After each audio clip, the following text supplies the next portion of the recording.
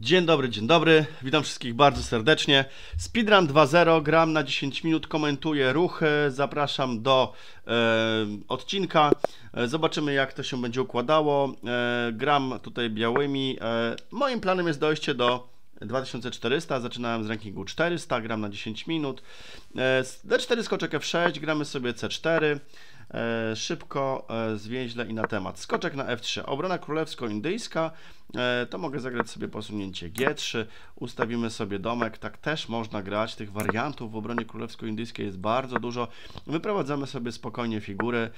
Sprawa jest tutaj prosta. Hetman A5, a to jest ruch taki dla mnie, można powiedzieć, dziwny. Nie spotykałem, nie spotkałem się z takim posunięciem. Mm, przeciwnik prawdopodobnie chce zagrać E5, ten hetman chce wspomagać tego pionka.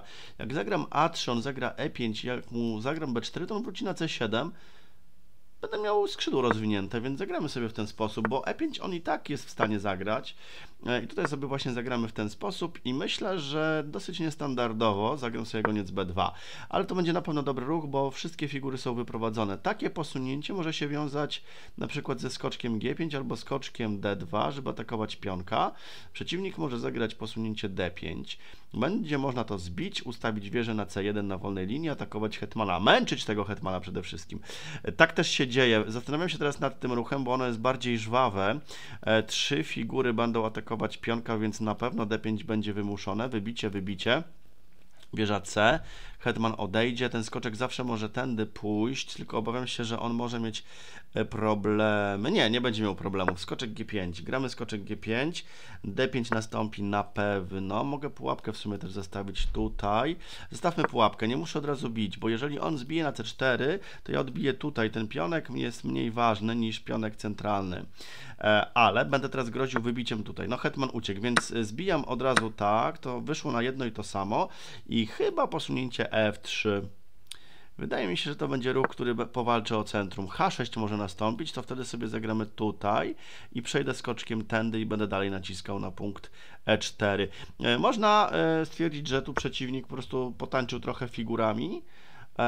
O, skoczek H5, bardzo podejrzane posunięcie, bo tutaj mogę kopnąć na D5, on zbije tu, mogę zagrać tak, wziąć wieżę. I to już jest chyba ok pomysł, jednakże jeszcze mogę na przykład zbić tutaj, on zbije, zagrać dokładnie to samo, chodzi o to, że tego pionka na H7 sobie wezmę, zagram tu, on odejdzie gdzieś hetmanem, ciężko stwierdzić gdzie, powiedzmy tu, ja zbijam, on skoczek tu, skoczek będzie uwięziony, ale z drugiej strony będę mógł zbić tu, nie, to musi być dobra pozycja, dobra, idziemy na to, bo zbijam dwa pionki i jeszcze zdobędę wieżę, więc nawet jak zostanę z wieżą za dwie figury, to będzie bardzo dobry układ, według mnie, tak na szybko patrząc, dlatego, że dlatego, że jeszcze będę miał atak, chociaż wieża mogła uciec na jego miejscu, tak zagrał tu bronią, no ale zbijam tutaj, moje figury zaczynają się rozgrywać, zaraz mogę mieć świetne centrum, skoczek słaby, wchodzimy tutaj, zobaczymy, gdzie zagra hetman. W ogóle z drugiej strony tak się zastanawiam, e, czy nie odbić za chwilę tutaj po prostu pionka, mieć bardzo silne centrum, ale jednak chyba kusi mnie, żeby wziąć tę wieżę. Zobaczymy, gdzie ruszy Hetman. Hetman ruszył sobie na G5. Mogę wtrącić zagranie. Nie, nie mogę wtrącić, bo tu wisi skoczek. On może dać szach, ale jeden szach tutaj e, krzywdy mi nie zrobi raczej, więc gram tutaj. E, oczywiście może zaszachować, to zagramy królem na H1. Patrzę teraz takie jakieś motywy, czy wchodzą. Wow, bicie na G3 a już chyba wiem o co chodzi tutaj. Nie, to wszystko działa, bo jak da szacha, to ja mogę tutaj zagrać. On chce teraz e, tu mnie zamatować skubaniutki, ale mam teraz takie posunięcie jak hetman e1. Jeżeli wymienię hetmany, to będzie bardzo dobry układ, tak mi się wydaje. Dlatego, że ta wieża ginie i potem wrócę skoczkiem i zostanę z jakością więcej. Tak sobie chyba to obliczyłem. Jaką jakością więcej? Przecież teraz w figurach jest porówno. On też poświęcił figurę. E, no właśnie. I teraz wydaje mi się, że f4 będzie dokładne, żeby troszeczkę E, tutaj przeciwnika, zaraz, bo o co chodzi? On może dać szacha, to jest nieprzyjemny ruch. On chce zagrać tutaj. Zagramy sobie f4.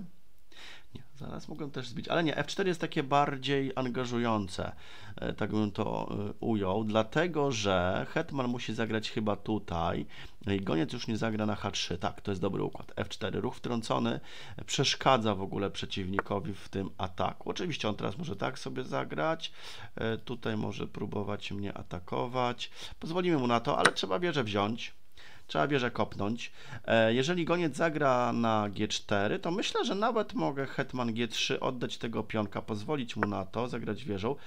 Ok, widzę, że się szykują tutaj jakieś maty. Tylko, że jak król pójdzie tutaj, to ja kopnę mu e, gońca, e, więc tym układzie zastanawiam się, czy taki ruch nie jest ok. Może to jest dobre posunięcie. Zagramy sobie E3, yy, obronimy bardziej pionka i zawsze ta wieża C2 będzie mogła, a właśnie, zobaczcie, przeoczył gość bardzo prostą rzecz. No tak jak się myśli tylko o ataku, yy, no to się potem wszystko rozkracza.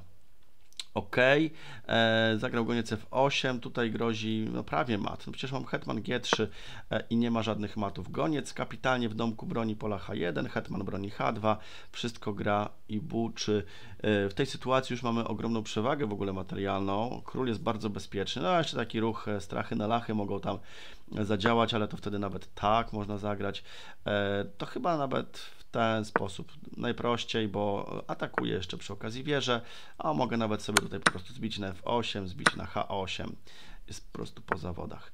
E, dobra, skoczek na F5, e, spróbujemy wymiany. Matów nie ma. Oczywiście jak hetman teraz wybija, to sobie gramy hetmanem. Wymieniamy hetmany, jest, no już teraz jest totalnie po zawodach. Dobra, mogę zbić sobie nawet pionka już, niech będzie. E, no to wracam gońcem oczywiście, żeby nie oddać wieży przewaga jest tak duża, że myślę, że przeciwnik już, e, a jeszcze gra do końca jednak, no dobra. Bardzo szybko podejmuje decyzję, jakiegoś mata tu musimy wlepić, jest mat e, i lecimy z kolejnym przeciwnikiem. No tak, czasem jak właśnie zamieszamy w pozycji, to mogą być ciekawe rzeczy. No gość napisał mi na czacie, że jestem szczęściarzem, no ciekawe. W szachach nie ma czegoś takiego jak szczęście. W szachach liczą się tylko umiejętności. Um, lecimy, lecimy. 2228, świetnie. Przeciwnik bardzo silny, jeśli chodzi o ranking. Jest E4, e no to niech będzie ten skoczek C6 sobie potrenujemy. D4, D5, od razu kopniemy w ten sposób i goniec na F5. Pozycja będzie miała prawdopodobnie charakter zamknięty, ale y, będziemy starali się to też otwierać. Posunięcie C3, ok posunięcie E6 e e, z planem nawet hetman D7 i zrobienia długiej roszady. Jeszcze F6 można tutaj podważyć, atakować pionka na E5, to też jest ciekawy motyw. Goniec E3 wygląda dziwnie, zagramy sobie od razu F6. Tutaj powiem szczerze, gram trochę na czuja, F4 poszło, ok. Wydaje mi się, że bicie jest dobre, tutaj wejdę hetmanem. Goniec tutaj postraszę, chociaż ten hetman... A, to może być dobry układ, bo goniec będzie pomagał mi tutaj, na przykład jak uda mi się wymienić hetmany, e, to będzie chyba dobry trik. E, wyjście hetmanem na początku, no takie mam mieszane trochę uczucia, ale z drugiej strony wymiana hetmanów będzie ok. E, wymienia hetmanów, bo ja już mam w głowie, że idę sobie hetmanem na e4 i hetmanem na c2 ewentualnie, jak będzie mnie tutaj gonił. No i to będzie całkiem normalna pozycja. Gramy sobie hetmanem na e4. Jeżeli zasłonicie skoczkiem, to zobaczcie, że hetman c2 mogę zagrać. Ale też mogę sobie jeszcze postać, bo no, on może zagrać skoczkiem, próbować mnie tu jakoś jeszcze, e, no właśnie, aha, skoczek C, no, skoczek D2. Brakuje skoczka na D3, bym fajnego mata dał. Um, cóż tu można, trzeba rozwojowo jakoś pograć. E, jakieś tutaj chyba rzeczy, pułapek na przeciwniku będzie ciężko zastosować. E, raczej trzeba rozwojowo tutaj e, sobie pograć. Może zagramy. G5 mi się w ogóle bardzo podoba.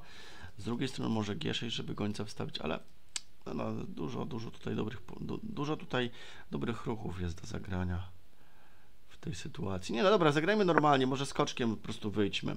E, na pewno zagra skoczek D2 i hetman C2. Wymiana hetmanów. Trochę mnie to kosztowało temp, ale myślę, że to jest cały czas pozycja no, normalna do gry. Ok, on chce mi tutaj zbić e, gońca. Wymienię te het zaraz, a ja nie muszę wymieniać hetmanów teraz. Mogę pionka kopnąć. On zagra tu, ja kopnę mu tu. On mi weźmie tego. Dobra, idę na ten układ. Nie ma wymiany hetmanów? No to, no to nie ma, to biorę pionka. E, oczywiście on mi skosi bardzo silnego gońca, sobie z tego zdaję sprawę, ale odbije na szczęście skoczkiem.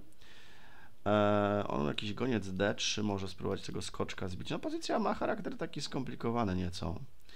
Ale wydaje mi się... Dobra, zbijamy na C3. Skosiłem pionki, dobra, skoczek wleciał. E, może goniec B4, to wygląda chyba dobrze nawet. E, wyprowadzę ostatnią figurę, mogę zrobić krótką roszadę, atakuję skoczka na D2, chcę wymienić tego skoczka, mam przewagę pionków. W ogóle jak on mi zbije tu, to wybijam, jest kapitalnie. Tutaj wybijam potem król D7. E, w ogóle genialna pozycja. Dwa piony więcej, to już jest raczej pozamiatane według mnie. Bicie, bicie, no i wieża C1 mi się wydaje, albo wieża... Nie no, zaraz, zaraz, zaraz, chwila, bo tutaj a to jest bronione dwa razy. Dobra, bo mi się coś już ubzdurało w głowie. Jest bronione dwa razy, jest wszystko ok. Wszystko działa. No to tak, tu przeciwnik chyba się posypał. Nie chciał wymienić hetmanów, to hetman mu trochę narobił bałaganu w jego obozie. Yy, może nastąpić jakiś szach. Ok, yy, wymiana jak najszybciej jak najszybciej, jak najchętniej i w tej sytuacji król d7. Roszada już nie jest tutaj potrzebna. On może też zagrać w ten sposób, może h5 było lepsze, ale dobra, on tutaj zdwoił. Zagrajmy teraz h5. H5 jest posunięciem, które nie pozwala zagrać G4. Ten skoczek na F5 stoi bardzo, bardzo, bardzo dobrze.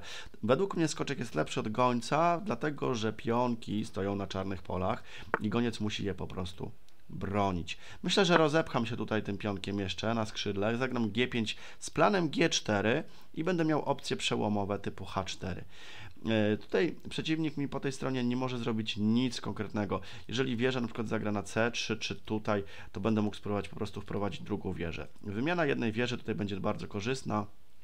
Poza tym e, król stoi kapitalnie. No, pozycja jest e, kompletnie wygrana, kompletnie wygrana, e, więc tutaj tylko wystarczy spróbować robić e, ruchy dokładne, ruchy takie, które nie e, wyrządzą nam krzywdy. No to tak się ogólnie mówi dosyć prosto, ale trzeba po prostu uważać, uważać do samego końca, e, zdawać sobie z tego sprawę, że są dwa piony więcej, skoczek jest silniejszy, realizacja, realizacja przewagi musi być według mnie taka mm, dokładna, wolna, y, niechaotyczna, nie trzeba się nigdzie śpieszyć, na spokojnie i tyle w temacie, chyba jeśli o to chodzi. Strategicznie po prostu końcówka jest kompletnie wygrana. No i przeciwnik, zobaczcie, myśli. Myśli. To nie byle jaki przeciwnik, 2228 to nie jest y, mały ranking. Ale przeciwnika trochę tutaj zaskoczyliśmy, jak widać. Jest dobrze. No i dobra. Mm, zaraz, teraz jest mój ruch. E, chwila, zagapiłem się. Jest H3, no to G4. Oczywiście G4, żeby nie wpuścić tutaj. E, dobra, on zamknął pozycję, więc ja go trochę postraszę i zagram wieża F8. Już się nastawiam na wolną linię. To nie znaczy, że ja tam koniecznie zagram. E, Teraz przychodzi mi do głowy bardzo ciekawe posunięcie pod tytułem C5, bo jak on zbije, mogę sobie stawić tutaj króla, tylko wieża tu, tu, e, A5, żeby zagrać, może, może nie oddawać tego pionka jednak, ale y, oddanie tego piona też pewnie jest w porządku. Mm, może zagram, a może zagram A5, po prostu. Właśnie, zagram A5, A4, jak najwyżej tego pionka ustawię, może rozwinę wieżę sobie, właśnie, on zagrał tu, Ym, dobra. W ogóle to chyba tędy. E, no kwestia realizacji. Ten ruch mi się bardzo podoba. Dobra, gram C5. Mi się ten ruch bardzo podoba teraz. E, on mi tutaj już e, nie wejdzie na B6, nie wejdzie też na A6, więc gram C5. Oddaję pionka, żeby wejść królem e, i ewentualnie zagrać D4 i wejść królem jeszcze wyżej, czyli centralizacja króla. I oddanie jednego pionka to myślę, że tutaj nie jest jakimś grzechem. Poza tym pozycja jest bardzo bezpieczna, e, no on może się tutaj ustawić i próbować tego zbijać. To jest e, sprawa ok, to jest naturalna rzecz. Mm, zagram chyba tak, żeby mieć jakby co wieża F8 szybkie, żeby tam go atakować, mm, ale też ten ruch e, wyczekujący, bo on może zagrać tutaj i na przykład stracić jakość. Zobaczymy, czy wpadnie w tę pułapkę. No ale raczej nie. Raczej przeciwnik to dostrzega. No właśnie, zagrał wieża D1, Dlatego teraz też nie mogę na, te, na, ten układ sobie tam pójść. Jak zagram wieżą na F8, to mi kopnie tutaj. Mm, dobra, jak zagram tak, on mi zbije, to ja mogę zbić tutaj, to będzie dobry układ. Dobra, gramy D4. Gramy D4. E, jak zagram tak, on mi da szacha grając pionkiem, ja idę królem na e4. Aktywność króla będzie tutaj porażająca, potem wieża a6, wieża c6. No, to myślę, że się będzie dobrze trzymało. E, dobra, e, poszło w ten sposób. Okay. No idę tym królem, idę tym królem.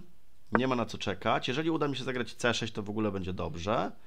Chociaż jak on zagra c6, to ja też mogę się zastanowić nad biciem. On mi da szacha, ucieknę królem, czyli odzyskam tego pionka. To pewnie też jest dobry układ. Ale wydaje mi się, że zagranie królem na e4 jest e, po prostu jeszcze, jeszcze lepsze, więc tak zagram. E, tego pionka e, mogę... Aha, poczekajcie, bo on mi może tu zbić chwilunia. Faktycznie, ale to zawsze tego wezmę pionka. I ta aktywność e, tutaj będzie porażająca. Jesteśmy bardzo wysoko. Tutaj właśnie czasami też, oczywiście intuicyjnie teraz myśląc, myśląc intuicyjnie, aktywność to jest najważniejsza. Gram wieża A6, żeby wziąć po prostu pionka na C6, bo jeżeli on mi zbije czy gońcem, czy wieżą na A5, to po prostu zbijam tego, więc pewnie on może zagrać wieża C5 jeszcze w tym momencie. Pewnie może, to wtedy ja mu zagram wieżą tutaj, jak on zbije gońcem, to ja wtedy zagram wieża A8 i tam się moje wieże rozdmuchają, wezmę pionka A5, dokładnie, a nie, on zbił tego, to ja zbijam tego, ok. To teraz jest ok. Wprawdzie zrobiłem mu pionka wolnego, ale zaraz dam jakiegoś szacha, podciągnę pionka C5 i tam będzie miazga. E, teraz, e, ok, zagrał tu, taki ruch chyba jest teraz dobry, bo mogę wejść tam, tak, skoczek tutaj. To się trzyma wszystko, bo jeszcze ta wieża wchodzi tutaj. No to król ma ogromne kłopoty. Król ma ogromne kłopoty. Tutaj grozi mat. W dwóch ruchach. Prawie, że... Tak, w dwóch ruchach, dobrze mówię.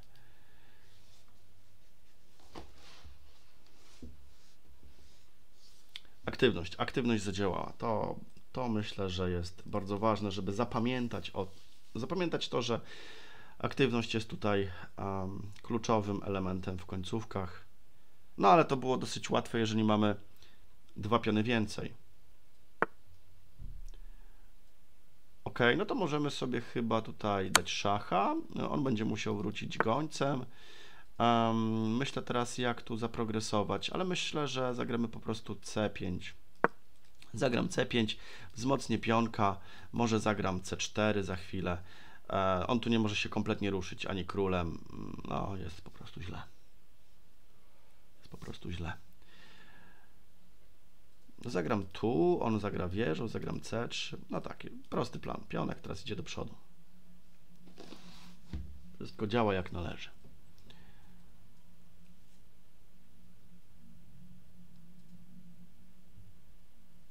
Ale tak można powiedzieć, że gładko wyszło. Ale to wynikało właśnie z błędu przeciwnika, że oddał pionka na B2 tam w debiucie, no i się to wykorzystało.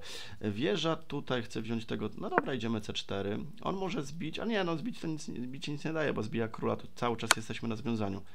Co on tutaj wymyślił? Oddał po prostu wieżę. Dobra. E, no dobra, no to co? Idę tu i nic nie ma. Znowu grożę C3. Zobaczcie, że ta wieża ze skoczkiem zrobiły taką e, robotę, że głowa mała. E, dokładnie, on zagrał sobie tutaj, e, no to co, mogę nawet tak zagrać. Ja zagram tak i po prostu biorę gońca. Ok, mamy to, e, szukamy sobie nowego przeciwnika. 2188, zbliżamy się już powolutku do 2200, do kolejnej bariery. No to już będą partie na pewno na bardzo wysokim poziomie.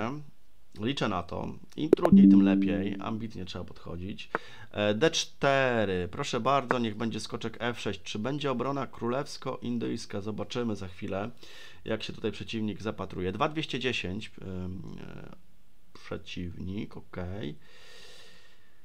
E, widzę, że słaby zasięg u niego, coś tu się dzieje, mm, więc chwilę poczekamy. Nie chciałbym w ten sposób wygrywać partii, no ale jeżeli tak e, będzie się działo, no to już nie jest zależne ode mnie. O, wróciło, dobra, dobra. Mamy C4, mamy G6, czyli obrona królewsko-indyjska będzie. H4, o, tak grają komputery w dzisiejszych czasach. Nie jest to dobre posunięcie. Jeżeli nas atakują na skrzydle, to dobrze jest odpowiedzieć w centrum, tylko że ja mam trochę inną koncepcję na tą grę. Zagram po prostu H5, przytrzymam tego pionka, bo tutaj będę miał fajne pole dla skoczka. Dobra, goniec G7, posunięcie E4 zapewne nastąpi. Goniec zagrał, ok. A to ciekawe. To może zagram C5, troszeczkę zmienię strategię, wydłużę gońca i zagram posunięcie D6. Otworzę sobie tego gońca. Dobra, jest hetman na D2 w pożądalu. Um, teraz trzeba jakoś mądrze to rozegrać. E, może jeszcze z roszadą się wstrzymam. Zagram A6, żeby dążyć do ruchu B5. Oddać pionka. E, jak zagram tu bicie, bicie, goniec, bije. Ok, zagram teraz skoczkiem na D7, wprowadzę kolejną figurę i będę chciał zagrać skoczkiem na 5. Teraz mi się bardzo to podoba. Właśnie układ z H5 jest o tyle ciekawy, że jak będzie F4, to skoczek ma świetną placówkę na G4, więc skoczek w centrum może dobrze się tutaj zadomowić. Ale goniec D3 tak po prostu? Nie mogę tego zwyczajnie zbić i zagrać B5, żeby zamieszać w pozycji? No pewnie, że tak. Zbijam tego gońca od razu. E, zbijam gońca od razu i gram B5. Jeżeli bije, intuicyjnie oddaję pionka. Zawsze e, po e, biciu hetmanem mam goniec D7. Zbił skoczek, więc chyba goniec na A6. E, tu się wszystko trzyma, czasami trzeba uważać na taktykę. Zrobimy sobie roszadę. No tak, przeciwnik będzie tutaj oczywiście tego mocno bronił. Trzeba to nacisnąć. Hetman A5. Naciśniemy zaraz wieżą na B8. On oczywiście jeszcze może A4 zagrać, ale nacisnąć trzeba. A4 i może hetman B4. W ten sposób będziemy działać. Na tym związaniu trochę spróbujemy po, poszaleć, aczkolwiek może przeciwnik się ustawił w miarę dobrze, bo to wygląda chyba dobrze, ale on musi tutaj też pokombinować. Teraz ja będę mógł chyba zbić po prostu skoczka y, na B5. Jeżeli odbije skoczek, to walnę mu tu i się pozycja rozsypie. Bo układ jest taki, żeby zepsuć mu tutaj plany. A teraz nie mogę zbić, mądrze zagrał. Dobrze, zagramy wieża B7, żeby obronić pionka. W ten sposób skoczek będzie mógł trochę się oswobodzić. Na przykład skoczek e, H7, może coś tam uderzymy, zobaczymy. On tu planuje mi hetmana złapać z kubaniutki. Z planuje mi złapać hetmana. Hmm, może mu się to nawet udać, jeżeli pogram źle. Może hetmanem wrócić, chociaż za bardzo nie chcę tego robić. Może też tak zagrać C4. Zagram w ten sposób, dlatego że mam ucieczkę hetmanem z szachem w razie czego. Zawsze ewentualnie w razie czego mam też podparcie na B3. Więc niech będzie ruch C4. To też jest standardowe posunięcie. Teraz mam, mogę, mieć, mo, mogę grać z planem takim i takim. Dobra, gramy tutaj. Bardzo szybko gra gościu. E, Kruch H1. Tak e, wydaje mi się, że bez większego zastanowienia. E, no nie są to pozycje takie super moje, chociaż grałem kiedyś podobne rzeczy, ale tu się wszystko trzyma. Ten skoczek będzie musiał dokładnie odejść, na przykład tutaj, żeby pionek na B2 nie zginął. Jest F4, czyli on będzie próbował atakować. Ok, ja mogę chyba teraz tak zagrać w ogóle. Zagram tu, bo jeżeli skoczek gdziekolwiek odejdzie, ja mam hetman B3 i ten skoczek tutaj na B3 wejdzie i będzie bardzo męczył. Okej, okay, jest taki ruch, który bardzo chce mi e, popsuć moje szyki, ale czy ja nie mogę zbić po prostu? Spróbuję najpierw hetman b3, spróbuję wymienić hetmany i odbić skoczkiem, a potem zbić pionka. Jak wymienię hetmany, to przynajmniej jednej rzeczy się pozbędę. E, takiej, że e, on nie będzie mógł mnie atakować. Chociaż on odejdzie hetmanem na przykład tu i będzie groził wieżą, no hetmanowi robi się nieco ciasno, ale jeszcze mam za nadrzu takie posunięcie jak skoczek d3, żeby zbić od razu na b2. Wydaje mi się, że hetman tutaj nie popłynie. Też ciekawe jest zagranie takie, ale nie, tutaj mm, wszystkie zagrania figurami według mnie będą czarnymi na korzyść, bo się pozycja otworzy. Chodzi o to, żeby rozbić skrzydło hetmańskie. Zadyma jest niesamowita. Bardzo podoba mi się ta partia do tego momentu. Spodoba mi się jeszcze bardziej, jak wynik będzie pozytywny oczywiście. Dobra, tutaj na B2 trzeba uderzyć od razu, więc gramy skoczkiem na D3, zasłaniamy hetmana, grozimy wzięciem pionka, bo wieża A3 grozi, więc muszę mieć układ taki, żeby zbić tutaj na B2. Czasem ten skoczek tam sobie poszaleje, no zobaczymy, zobaczymy. E, jak to się wszystko potoczy. Może goniec na C1? Jest to też ciekawy y, plan, ale wtedy będzie trzeba chyba zbić w końcu tutaj. Poszło bicie na D6.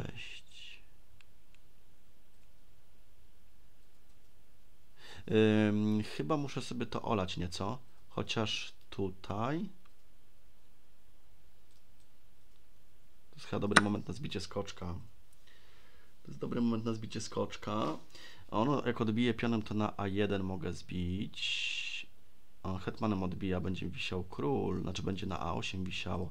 A, dobra, to chyba mogłem się pośpieszyć nieco.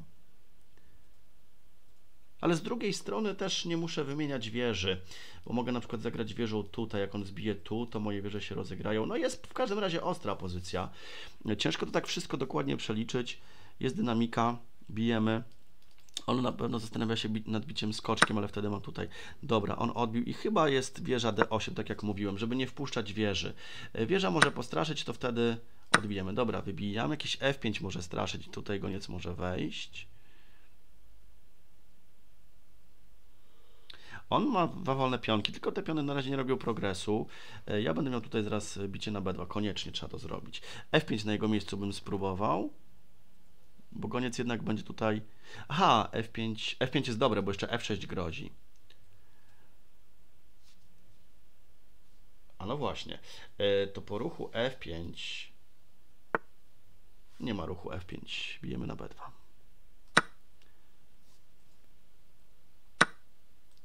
Wymiana hetmanów. Ok, czyli on uprościł. Jak to w pionkach wygląda? Mam pionka mniej cały czas.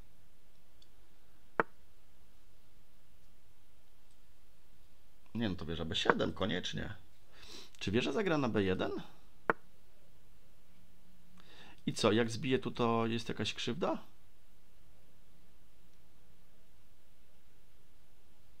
Nie, bo to jest bardzo teraz odpowiedzialny ruch, mm, bo jak zagram tak, to będzie miał po prostu tego pionka. Jak zbiję tu, zawsze mam układ taki, tylko że chodzi o to, że teraz tutaj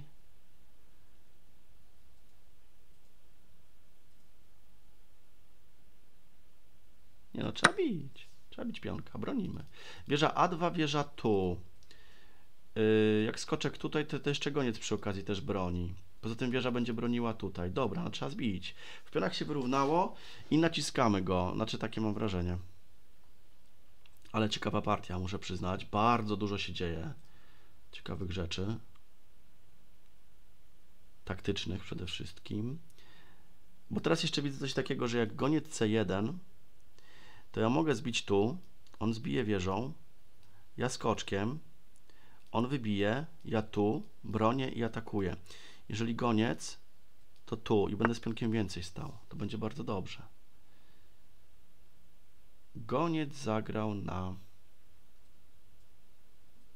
E3. Dobra, trzeba się teraz zastanowić nad biciem, na, y, biciem skoczka. Aha, nie, on po prostu tutaj rąbnie, co ja gadam, e, więc nie mogę tak zrobić. Hmm, hmm, hmm. To chyba wieża na B8, tak po prostu. Wieża na B8. On nie może zagrać tak, bo tutaj skoczek podwisa. Wieża B8, żeby się wieże złączyły. Dobra, ten układ mi bardzo odpowiada.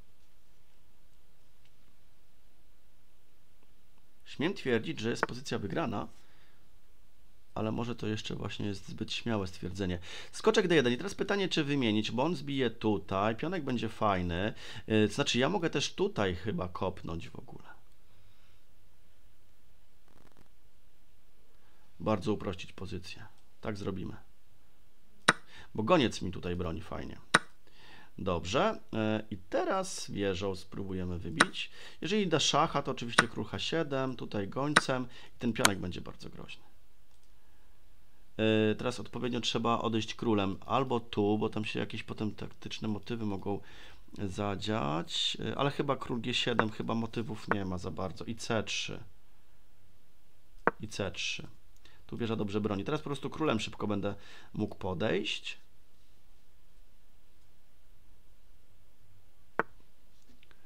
Myślę, że wieża D3 jeszcze dokładnie, żeby trzymać pionka, atakować i nie wpuścić króla do akcji.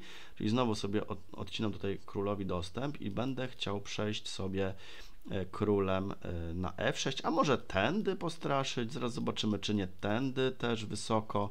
Aktywność tutaj jest bardzo duża, jest pionek więcej. E, Dobra, on będzie tutaj coś próbował zapewne, ale zaraz ja nie mogę tak? Chyba błąd popełnił.